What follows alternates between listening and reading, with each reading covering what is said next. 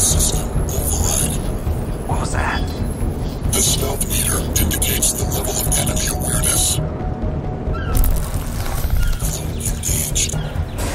Cloak provides temporary invisibility to avoid detection and infiltrate enemy positions. Movement while cloaked rapidly drains some energy. What I want to know is how the fuck turns up. Ah! Oh!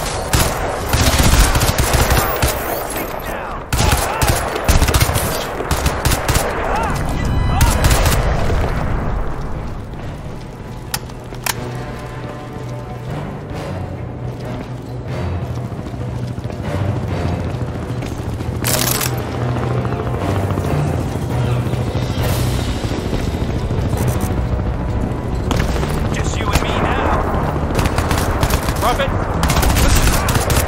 I'm outside the evac center.